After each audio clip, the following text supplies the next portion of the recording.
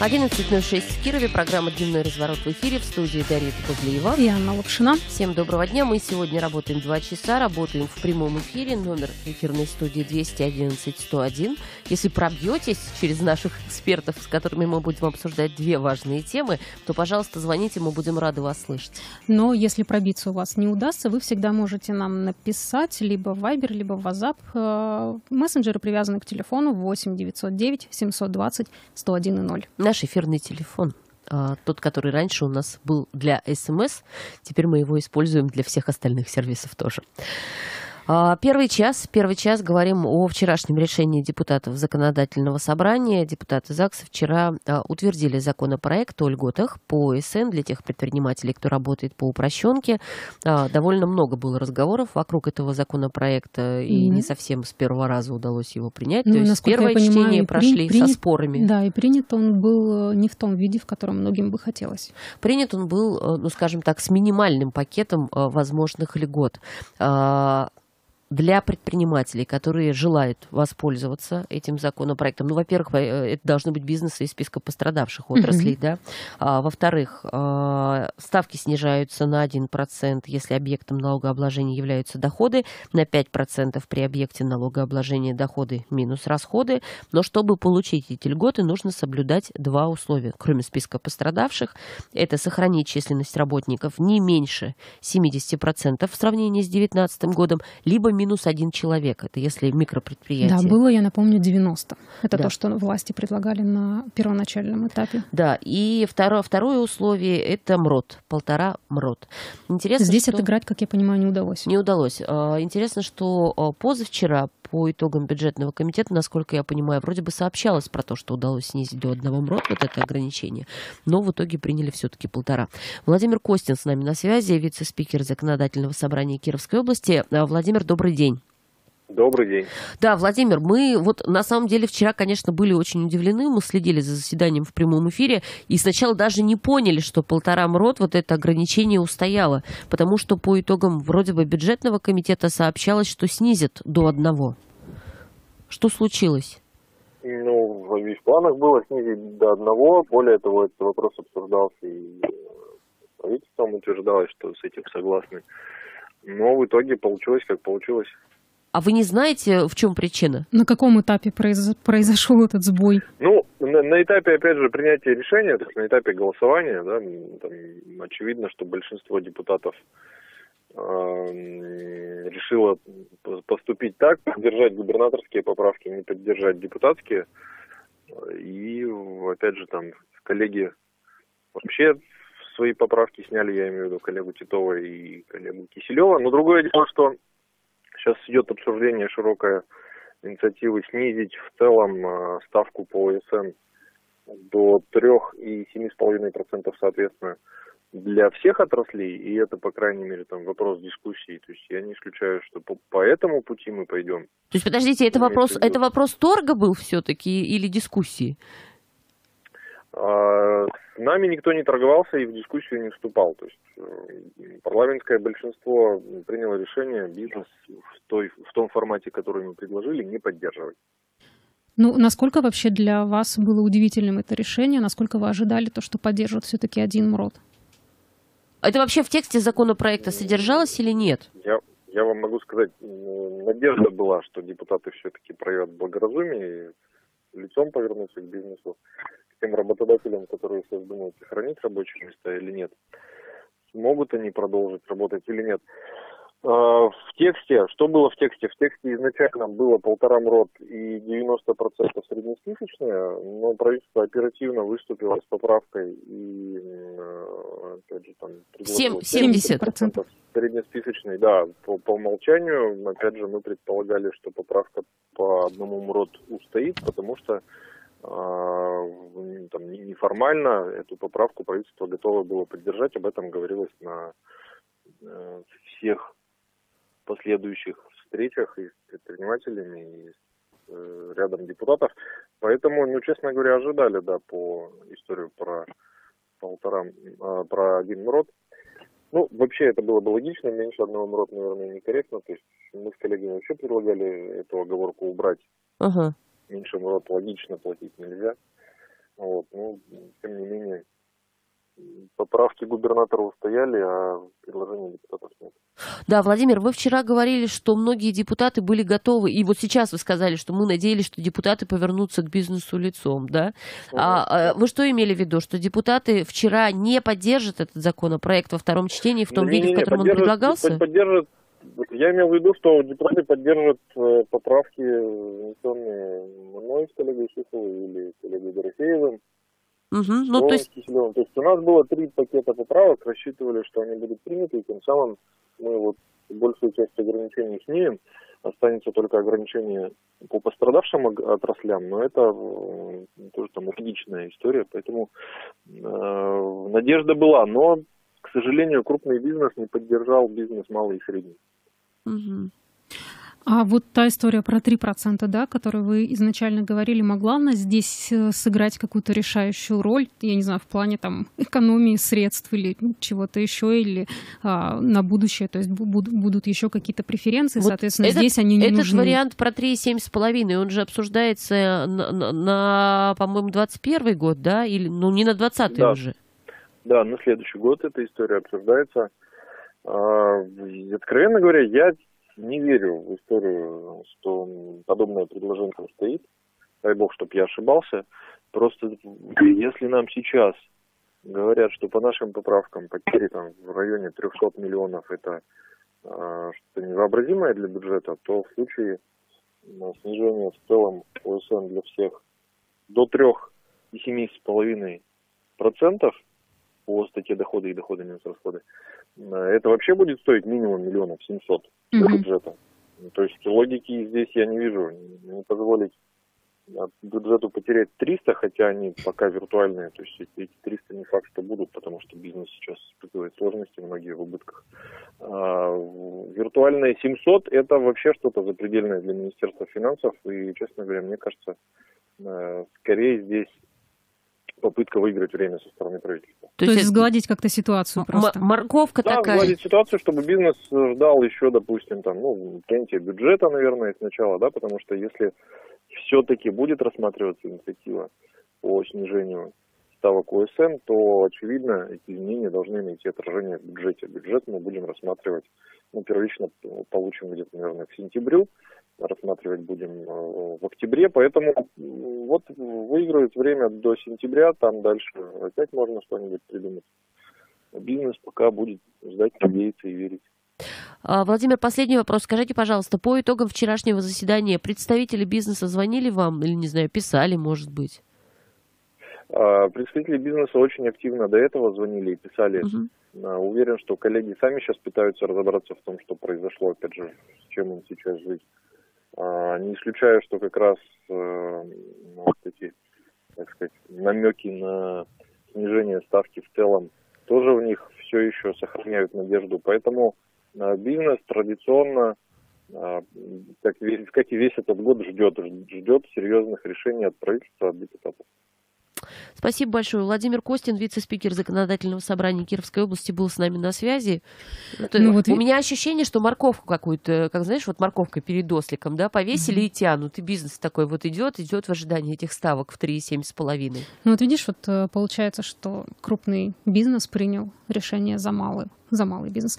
Ну, это примерно то же самое, как э, губернатор здесь на последнем оперативном штабе э, говорил о некой эстафете в плане выхода на следующий этап, этап? ограничительных да. мер, где он заявил, что я не помню дословно, но, в общем, суть была в том, что откроетесь вы или нет, э, зависит вот от тех, кто уже работает что тоже мы здесь в студии много раз обсуждали, ну то есть в, в том плане, что ты, например, твое предприятие открылось, ты ведешь себя хорошо и таким образом передаешь эстафетную... Ты ведешь себя ответственно. Ответственно, и таким образом передаешь эстафетную палочку э, следующему бизнесу, чтобы он мог открыться соответственно, тот бизнес, который еще не открылся, оказывается от тебя в полной зависимости. Ну, конечно, губернатор это называет э, какой-то солидарностью, а не ну, зависимостью. Ну, вообще, на самом деле, это солидарность, действительно, но вопрос просто в том, что насколько вообще там... Э, ну, вот здесь вот мы видим, что крупный бизнес никакой, никакой солидарности, солидарности по отношению возможно. к малому бизнесу не проявил.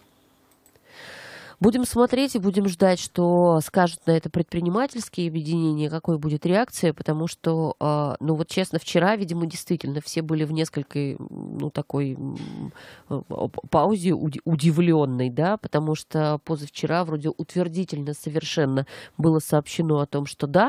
Олег Касин с нами на связи, президент Фонда поддержки предпринимательства содействия. Олег, добрый день. Добрый день. Да, что вы скажете по поводу вчерашнего решения ЗАГС Собрания? Насколько оно было ну, ожидаемым?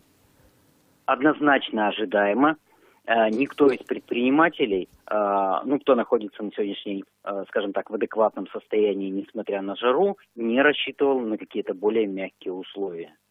В любом случае предпринимательство, конечно, питало надежды и хотело бы, чтобы законодательное собрание приняло более мягкий вариант, тот вариант, который помог бы в скорейшие сроки восстановиться бизнесу. Это то есть 2020-2021 год по минимальной ставке УСН. Угу. Все остальное слабо влияет на ситуацию очень тяжелую в вятском бизнесе. Олег, смотрите, а можно, Это... можно сейчас как-то уже оценить, э, то есть сколько людей смогут, сколько бизнеса смогут воспользоваться в итоге, вот э, э, смогут соответствовать этим условиям, ну то есть с 90 до 70, ну вроде бы как бы ощутимо, да, то есть вот за счет этого... Ну когда 90 было, называли, что 2-3% Что там, да, вообще практически никто не сможет этим воспользоваться. Сейчас как-то улучшилась ситуация, если улучшилась, насколько? Нет, это единицы предпринимателей. Угу это единицы. То, То есть основным... Даже десятками, я боюсь, что даже до деся... да, десятками мы их не можем мерить. А это единицы, это формальность. Нужно было пойти э, формально навстречу э, предпринимателей, предпринимателям для того, чтобы отчитаться перед Москвой, что меры приняты. И все. Больше никакой цели это не служит, данное решение. А сколько удалось бы выиграть, если бы приняли один МРОД? Это сыграло бы какую-то Знаете, существенную роль? Расширило да, бы список? Без, конечно, безусловно. Некоторые бизнесы получили бы а, небольшую, но своевременную помощь от государства, от региона в данном вопросе и позволила бы в том числе а, каким-то образом пережить вот те негативные последствия, которые э, сейчас э, в связи с коронавирусом и с общим э, там, упадком экономическим, который происходит во всей стране, происходит и у нас на Вятке. Олег, еще такой вопрос. Скажите, пожалуйста, а насколько возможно спрогнозировать вообще? Ну вот мы когда обсуждали э, снижение ставок по УСН, да, говорилось в том числе о том, что рядом с Кировской областью два так называемых налоговых пылесоса. Это Республика Удмуртия и Республика Коми. В Коми там проценты, конечно, повыше, да, насколько я помню. А в Удмуртии, ну, э, а, реально там практически красную дорожку расстилают перед предпринимателями, которые Вплоть готовы того, что, к ним. Пытались да. даже жаловаться. Полный пакет документов готовы предоставить э, консультации оказать, ну, в общем, все по переводу, да. Вот можно ли спрогнозировать после этого решения ЗАГС Собрания, мы увидим поток увеличившийся предпринимателей, которые перерегистрируются или нет? А, вот такой большой динамики в сторону увеличения перерегистрации его не будет. Он начался у нас. Я вам напомню, что эти меры по привлечению инвестиций в Республику Удмуртия, да, они начались еще до ограничительных мер угу. в связи с коронавирусом. Поэтому те люди, которые планировали переезжать, перерегистрироваться, я напомню, что они делают это в основном, да все практически формально. Единственное, что э, э, бюджет Кировской области теряет вот эти даже небольшие поступления налоговые. Поэтому большого всплеска не будет. Те люди, которые планировали, они этим занимаются, либо уже перерегистрировались, ну, либо продолжают заниматься. Ну, вот в цифрах это будет небольшой, никакого всплеска там и там домотайзинга никакого не предвидится. Связывались ли с вами как-то предприниматели? Возможно, кто-то настолько полагался на смягчение вот этих вот мер, что от этого зависело его решение продолжать работу или закрываться? На самом деле нет. На самом деле нет. Все предприниматели прагматично подходят к вопросам снижения налогового бремени. Э, да, получится отлично, не получится, ну что ж. Э, на самом деле это не какой-то там критичная цифра для кого-то. Ну, обращаются по вопросам снижения и использование льгот. Подходят, не подходят. Угу. Олег, еще такой вопрос. Смотрите, нам Владимир Костин сейчас рассказал, что вроде бы, вроде бы в перспективе на следующий год возможно, а, а, ну как бы продление льгот вот этих по ОСН в размере там, ну по ставкам 3,7,5%. Уже для всех. Ну, это, это обещает. Это, это прекрасно, это великолепно, это замечательно, только э, дорого яичко ко Христову дню. Понимаете, все эти меры, они носят даже не э, в большей мере не экономический характер, а, скажем так, репутационный и э, психологический. Если ЗАГС собрание, если значит, э, правительство Кировской области настроено а, помогать бизнесу, развивать его на данной конкретной территории, так оно будет этим заниматься. А все остальное уже вторично. Но вот на сегодняшний день мы видим, что и ЗАГС Собрание, и правительство проигрывают в конкурентной борьбе своим коллегам, нашим соседям. Угу. Они опаздывают, они не принимают более решительных мер. А с Это, чем... конечно, безусловно, ко всем э, не относится э, и чиновникам, и депутатам, но ситуация такова, какова она есть на, на сегодняшний день. Все понятно. Спасибо большое, Олег, за ваш комментарий. Это был Олег Касин, президент фонд, Фонда поддержки предпринимательства, содействия. Ну, хорошо, конечно, если предприниматели не пойдут вот в эти регионы пылесосы, да, как ты говоришь. Угу. Но, тем не менее, даже думаю, если они пойдут, налоговая как обычно, все равно скажет, что все нормально, все, что происходит, это просто естественный Чи- естественная, естественная чистка реестра. Я все равно, честно говоря, не очень понимаю, э, что произошло вот с этой вот ставкой МРОД, да, э, ограничительной, почему с полутора приняли решение ну, а, не снижать до единицы.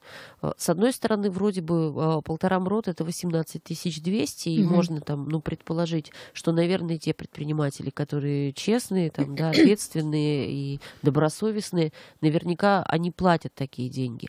Но есть ведь огромный список профессий, там, специальностей и наемных сотрудников, которые, возможно, эти деньги просто не зарабатывают. Ну, вот если мы про общепит говорим, да, угу. есть же ребята-студенты, которые работают, например, официально официантами. Я не знаю, там все ли они зарабатывают по 18 200, потому что мы понимаем, что работают там студенты, эта работа может быть где-то не на полную ставку, там, да, еще ну, что-то. Вообще сейчас вот эта вот вся ситуация, да, которая произошла, мне кажется, она э, система замкнулась сама себя в этом плане, вот в плане вот этих вот э, серых и белых зарплат. То есть, с одной стороны, государство, ну, фактически не дает людям возможность открыть эти зарплаты, с другой стороны, на них э, все и замкнулось в плане поддержки, и то есть вот такое вот какое-то, не знаю, колесо сансары в итоге. Ну, а сейчас получается, что те предприниматели, которые не могут себе позволить э, платить э, нормальную человеческую зарплату в белую, они просто в серую зону уйдут, и все.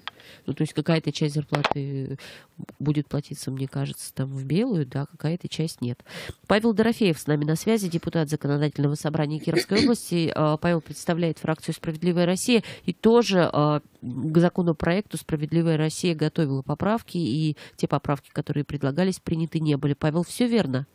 Да, добрый день. Добрый все день. верно. Да, нами были выдвинуты поправки, э, чтобы отменить полностью все ограничения, как мы считаем, это заградительные барьеры, потому что в том виде, в котором в итоге законопроект был э, вынесен, он коснулся бы всего 10% предпринимателей, которые работают на упрощенной системе налогообложения. Мы считаем, что это очень малая часть охвата, и поэтому внесли данные поправки.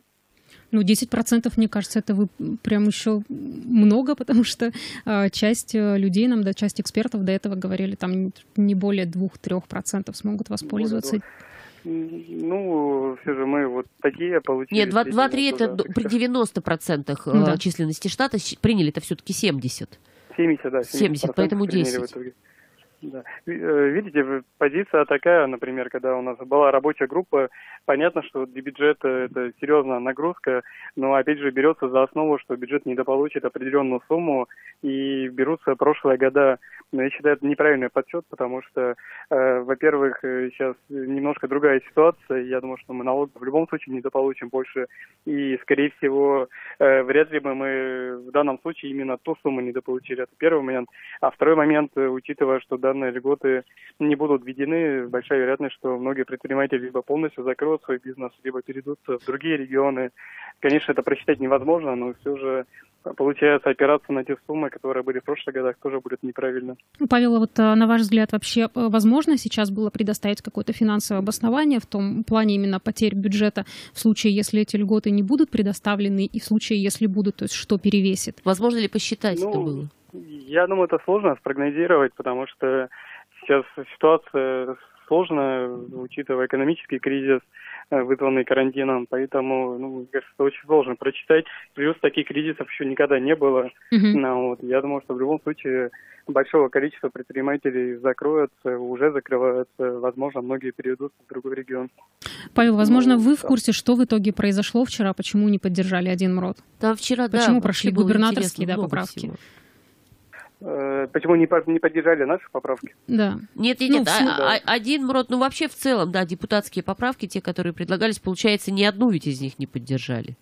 Ну, все, все правильно, да. Но я говорю, еще на рабочей группе, когда было обсуждение у нас, э, а главный аргумент был, что э, возможности не, нет такой, учитывая, что бюджет недополучит там порядка 4 миллиардов, это если взять мои поправки вот, э, за два года, что таким образом там сложно будет социальные обязанности выполнить в рамках бюджета. То есть основной э, аргумент был это то, что бюджет не может себе такого позволить. А федеральный бюджет э, в этом вопросе никакой поддержки не оказывает Нет, регионам? Он, как бы, да, он, он не оказывает поддержку, никак не участвует. Ну, у меня есть информация, что коллеги, пока информация не подтвержденная, коллеги уже подготовили новый законопроект о снижении ставок без всех ограничений на 2021-2022 год и получили уже положительный отзыв правительства. Но, опять же, говорю, информация не подтвержденная. Если будет таким образом принят в дальнейшем э, снижение налогов на упрощенку, но это все равно, конечно, шаг вперед. Но что делать 2020 годом, когда многие предприниматели сейчас стоят как раз на точке принятия решения, там, работать дальше или нет. И для них очень важны э, сокращения расходов, всех которых только возможно. Конечно, я думаю, что сейчас это очень актуально именно в настоящий момент, и именно в этом году. Павел, не знаете, в других регионах законодательные собрания как э, работали как-то вот с упрощенкой, что-то давались какие-то да, льготы? Я насколько, да, я насколько знаю, во-первых, в Удмуртии, в республике, э, уже ранее еще до кризиса, до карантина угу. были приняты такие ставки, что на первый год если кто-то в 2020 году переведется в Удмуртию, будет ставка 1% по упрощенке, э, доход минус расход 5%. Э, второй, третий год будет ставка 3%. Э, и, насколько я знаю, в Республике Коми недавно приняли, что у них э, первый год, если не ошибаюсь, э, 3%, не, у них в 3 года по 3%, если не ошибаюсь. А если вот э, именно говорить о волне коронавируса, то есть о тех мерах, которые были направлены именно на поддержку пострадавших отраслей, э, что-то коллеги ваши где-то предлагали, возможно, где-то что-то прошло, какие-то послабления тоже? Ну, в принципе, я говорю, каких-то других э, поддержки я не вижу, там, других законопроектов. Все, что было федеральная поддержки меры, это вот и субсидия, которая выделялась предприятиям, льготные кредиты, они есть. Вот я как раз вчера на законодательном собрании когда с докладом выступал губернатор, задавал вопрос, когда президент выступал и отменил нерабочие дни 12 мая, он сказал, что если какие-то ограничения остаются, то теперь уже пускай регионы сами разрабатывают меры поддержки. Ряд регионов меры поддержки индивидуально разрабатывают. Тут у нас, к сожалению, в Кировской области не все еще предприятия открыты. Э, ну, мер поддержки каких-то конкретных нету на сегодняшний день. Как губернатор сказал, что он считает основной мерой поддержки это открытие бизнеса. Тут я с ним согласен. На самом деле, если бизнес будет работать, то это, наверное, будет самая главная мера поддержки. Ну, пока в связи ситуации к приростом заболеваемости, конечно, открыть сферу не могут. Спасибо большое, Павел, за ваш комментарий. Это был Павел Дорофеев, депутат Законодательного собрания Кировской области. Э, мы сейчас уйдем на полторы минуты, но вот э, видишь, получается, что практически ничем от других регионов мы в этом плане, наверное, не отличаемся. То есть каждый пытается где-то сэкономить, а так просч- это, просчитать риски это, это, нет никакой вполне, возможности. Да. Это, в общем-то, вполне понятно, да, и как бы обоснованно. Вопрос просто в том, что э, вот эта вот вся неразбериха с тем, что сначала обещают одно, говорят, что давайте вносите поправки давайте голосуем, ко второму поддержим. чтению, да, мы Это да, вот посмотрим. эти, эти игры не совсем понятны. Да, они, конечно, Реклама. выглядят не очень красиво. Возвращаемся в эфир. Депутаты Законодательного собрания накануне утвердили льготы для э, бизнеса, для э, людей, которые работают на упрощенной системе налогообложения, и приняты эти льготы ну, минимальным пакетом, тем самым, фактически тем самым, который уже обсуждался в момент э, когда принимали законопроект в первом чтении. То есть единственная э, поправка, которая была внесена, ну фактически, это поправка по численности сотрудников с 90% сохранения штата э, перенесли, перенесли это все ну, как бы на 70%, либо минус один человек. Но, насколько я понимаю, там, э, а, да, вот эта вот оговорка про одного, одного человека, э, предлагали депутаты, да, немного ослабить э, МРОД, то есть до одного. Ну, вот в итоге посчитали, что потери бюджета э, в этом случае все же будут максимальными. Я попыталась посмотреть, э, какие льготы еще в других э, регионах кому предоставляют. Нашла вот интересную информацию, что в Приморье налоговые льготы получили пострадавшие от ситуации с коронавирусом зоопарки. Зоопарки. Зоопарки, я не знаю, видимо, в Приморье Ну, там, вероятно, много много зоопарков. зоопарков или что-то вот. То есть в Кировской области, мне кажется, у нас вообще зоопарки нигде не фигурировали. Так потому что у нас их нет. Вот, ну такие вот интересные Их моменты, нет как да. вида бизнеса просто. Ну, наверное, что-то есть, что-то есть. Я не знаю, это в статусе зоопарка или не в статусе зоопарка. Андрей Вавилов с нами на связи, руководитель Кировского отделения общественной организации а, «Опора России». Андрей Николаевич, добрый день. Добрый день. Добрый день, как хорошо, что мы вас успели поймать все-таки. Да, э, я думаю, что вы новости уже видели. У меня, знаете, какой вопрос? Вот я не понимаю, я задавала да, Дарье его до перерыва, да, я, я все понимаю, надо деньги экономить, денег нет в бюджете, там, да, социальная сфера, все страдает. Но зачем тогда а, вот э, эти игры с тем, что давайте сначала примем в первом чтении, потом внесем поправки, а, а в итоге там, да, и- и ни одна из вносимых поправок все-таки не поддерживается? Сейчас смотрите, какая ситуация. Само обсуждение всего, всего закона было очень давно. Еще начиная с марта-апреля месяца, когда другие регионы стали принимать аналогичные решения.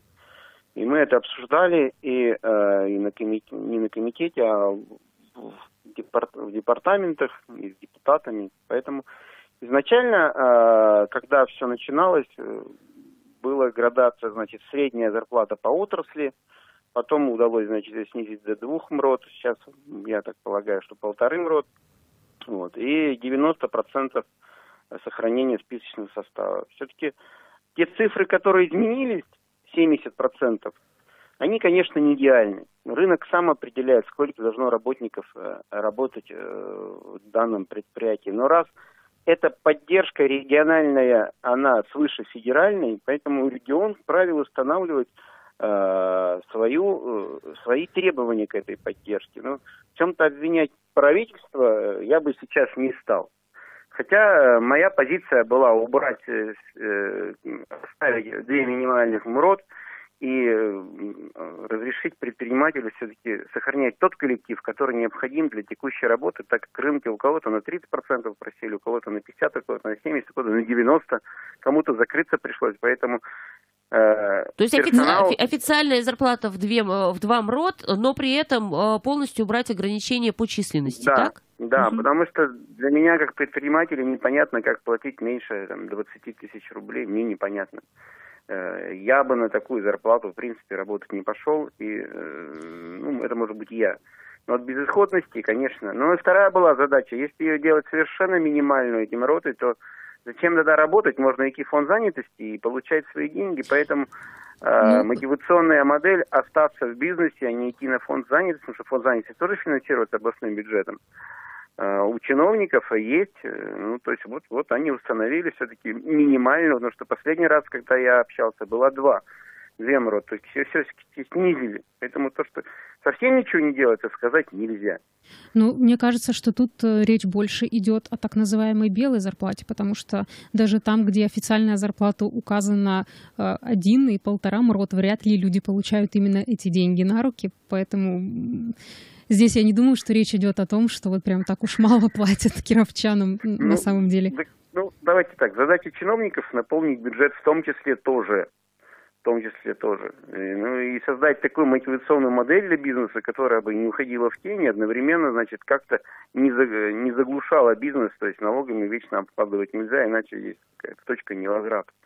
Ну вот Поэтому... сейчас в той версии, да. в которой в, в итоге законопроект э, выходит, э, как много предпринимателей смогут воспользоваться? Я думаю, что не очень много, процентов 30, не больше. 30 процентов. Разные оценки, на самом деле, там от 10 процентов и, и цифра называлась, да, по Ну, просто вот когда называют, э, когда оценивают, например, там в 10 процентов, возникает вопрос, а оно вообще надо? надо? Оно все вот того ну, стоило? Ну, вот Смотрите, когда вот я был в всяких комиссиях, и э, делились деньги областного фонда поддержки малого предпринимательства, у нас статистика все полтора процента бизнеса было охвачено поддержкой. Угу. Вот полтора и десять это э, существенно или нет? Ну, существенно. Наверное, существенно. Существенно. существенно, да. Поэтому как бы идеальной модели ее никогда не будет. Но ведь, с другой стороны, ведь э, если э, бы у нас Министерство экономического развития жило в динамике, значит, э, приняли закон, посмотрели, востребовано, не востребовано. До конца года принесли, вынесли поправки, э, значит, расширили как-то сферу применения. Единственное, что предприниматель должен, а вдруг расширит, вдруг не расширит, кто умрет, кто не умрет. Ну, ну, неповоротливая модель управления государством, она неповоротливая. Поэтому мы именно в такой модели управления государством и живем. А здесь вот э, э все вот эти вот э, условия, да, которые были выставлены по МРОД, опять же, возвращаться, если к белой и серой зарплате, возможно ли такое, что вот вся вот эта вот ситуация э, подтолкнет какую-то часть э, предпринимателей э, легализоваться? Легализоваться, да, в, в плане зарплат. Предприниматель будет считать. Вот даже парикмахеры, помню, в какой-то момент хотели спрыгивать и закрываться, выходить на самозанятых, но когда им э, предложили 12-130, э, да, есть люди, предприниматели, которые, подав заявление а ликвидации ИП сохранили, потому что государство, значит, март, апрель-май, по-моему, или, ну, сейчас угу. брать не буду, какие-то месяцы компенсировало и удержало их на полу как предприниматель. Предприниматель посчитал за ночь, что если ему дадут 12-130, он еще почислится ИП, потому что э, заплатить э, пенсионных взносов надо столько-то. Угу. Предприниматель каждый раз будет считать. Предприниматель-то вот как раз живет в динамике. И нам уже не страшно Сегодня мы ИП или самозанятые уже возможности есть, или какую-то ОШку, или усножку, или НДФЛ. Ну, короче, у нас есть пространство вариантов, и э, мы будем считать и уходить на ту систему налогообложения, которая сегодня будет выгодна. И не в этом, если раньше мы думали, ой, это же, наверное, стыдно, там что-то. Нет, это не стыдно. Можно каждый там, год менять свою систему налогообложения и работать э, так, чтобы было эффективнее. Никто спасибо за уплаченные налоги не скажет. А жалко. Да, спасибо а большое. Жалко. Да, Андрей Вавилов, руководитель Кировского отделения общественной организации «Опора России», был с нами на связи. Сейчас попробуем еще с реально действующим предпринимателем связаться, да, Дмитрием Кочевым. Это генеральный директор а, компании «Стильмарк», а, сеть парикмахерских «Прятки в порядке». Дмитрий был у нас а, в эфире в тот момент, как раз, когда отрасль закрывалась. Вот сейчас Андрей как раз, видишь, приводит в пример, да, что парикмахеры думали уйти на самозанятых, но самозанятые, как я понимаю, не могут пользоваться вот этими mm-hmm. мерами поддержки, бизнес может там малый, да, поэтому, когда пообещали меру поддержки и дали, многие сохранили этот статус предпринимателей, ИП там. Прочее. Да, я почему-то сразу представила, как э, налоговая, высылая э, свой очередной релиз про уплаченные налоги, в конце пишет «Спасибо вам, предприниматели, А мне кажется, в этом нет ничего странного. Это же здорово, если налоговые говорят спасибо, если власти говорят спасибо, если жители говорят спасибо. Ну, то есть, э, вообще, на самом деле, Хорошо. А, Дмитрий с нами на связи, Дмитрий Кочев. Дмитрий, добрый день. Добрый день, приветствую добрый, всех. Добрый день, Дмитрий. Скажите, пожалуйста, а, вы а, там работаете на упрощенке? Да, конечно, несколько организаций, одна уже работает, одна будет переходить. Угу. Вот тот э, законопроект в том виде, в котором вчера депутаты утвердили его, кажется ли вам э, вот, вот та поддержка, которую э, сейчас окажут, существенной? Вы вообще а... сможете ей воспользоваться? Что ну, это? Смотрите, данная поддержка, она, конечно, возможно, какой-то положительный э, результат даст, но он будет э, несущественным для большинства компаний. Я готов объяснить, потому что, во-первых, э, в этом году большинство компаний испытывают убытки, э, и так как э, сама, сами льготы э, распространяются на компании только до конца года, то есть в этом году и так большинство компаний будут терпеть убытки, и они в принципе не смогут воспользоваться даже в пострадавших областях вот этими льготами. То есть, а те компании, которые не были признаны пострадавшими, которые тоже потеряли в выручке, они, в принципе, и сейчас уже не подпадают под эти критерии. Поэтому, конечно, какие-то компании смогут этим воспользоваться, но эффект будет такой очень незначительный, на мой взгляд. Среди ваших коллег э, вообще как-то общались, кто как относится к этому законопроекту? Возможно, вот вчерашние события обсуждали. А, ждал ли вообще кто-то? Я могу да, то есть, конечно же, с коллегами общаемся, есть и чат, есть и личное общение. То есть, ну, я думаю, не секрет ни для кого, что все предприниматели в целом оценивают э, данное решение, ну, как минимум, не положительно и просто от безвыходности, потому что поток э, людей, выручка поголовно у всех снижается. Это есть открытая информация и статистика. Люди просто ищут решения, и сейчас как бы компании и предприниматели просто переводятся в другие регионы, где приняты более льготные ставки, какие-то более лучшие условия. И все, и, собственно говоря, они так и делают для того, чтобы просто сохранить э, рабочие места и свои компании. Дмитрий, смотрите, вот минутка у нас остается буквально. Угу. Давайте, не знаю, помечтаем немного. Вот, то есть для вас, как для предпринимателя, идеальная поддержка, если в плане налогов судить, какой бы сейчас была? А, сейчас нужно сделать поддержку а, в идеале, конечно, для всех компаний, не только для пострадавших, потому что пострадали все. И делать это минимум на три года. 1% а, это налог с оборота и там 5-6% это налог с прибыли. То есть вот это будет хорошая действительно поддержка, потому что все-таки любое предприятие, оно рассматривает экономику не в рамках месяца, а в рамках там года, двух, трех. Угу. То есть это было бы поддержкой. Спасибо. А если ставки будут немножко выше, вот сейчас обсуждается вариант 3,7,5%.